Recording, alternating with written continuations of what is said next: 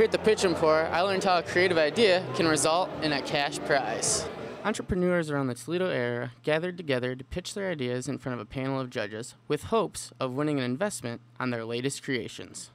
Molly Verdier won first place in the senior category with her idea of custom products to help kids with special needs. Great thing about TheraPals is everybody knows somebody with the special needs, so hopefully I can touch somebody's heart.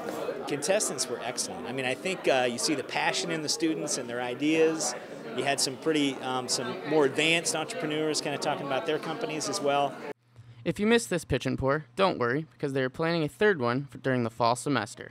I'm Andy Heilman for UT 10 News.